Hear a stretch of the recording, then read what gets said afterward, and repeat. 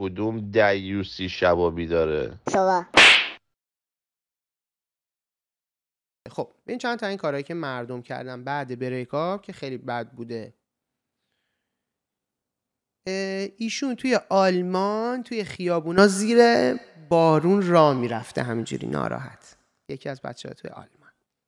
ولی اون حامد همایون پاپ زیادم باید گوش می‌داده دیگه. می‌دونی؟ خوراک بریکاپه یکی دیگهشون میگه با یه دختر دیوونه دوست شدم که مثلا جبران کنم.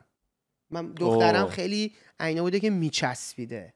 این اتفاق خیلی برات میفته چون تو اون موقع استانداردت گاردت پایینه. یه دختری که نباید میاد یا حالا یه پسری که نباید میاد. بهش میگن؟ ریباوند ریباوند بلوکه میشه توپ. تو داشتی همچین چیزی؟ آره. همیشه داری دیگه. اصلا خیلی دارکه اون.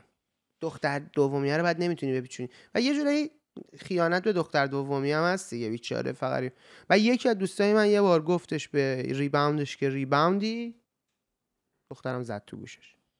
من به دختر همین که ریباوند بود بهش گفتم که می‌دونی ریباوند چرا گفت؟ شما آره. میگین که ریباوند اصلا هم چیزی نباید بگی. خب می‌خواستم چند ناراحت نشه بدم. بعد اونم گفت اوکی.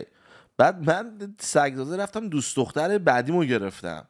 تو که حالت خیلی. بعد مثلا یه بار که تو تخت بودیم دوست دخترم زنگ زد گوشه برداشتم. بعد داشتم با دوست دخترم حرف می‌زنم یهو دیدم در باشه لباسو پوشیده و داره میره بیرون. گفتم کجا داری میری؟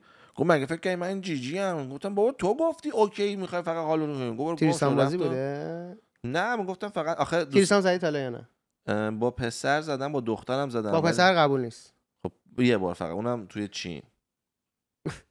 بماند این داستان با شوهر همین دختره. دروغه دروغه. من اون آقاه که می‌خواد بیاد ازت تست دروغ سنج بگیره دفنتلی ازت میگم بهت سنسور بس کنه بپرسه Did you have a threesome with the girl's husband in China? oh yes Did you throw pubic hair in the high school? حاجی برمیگردی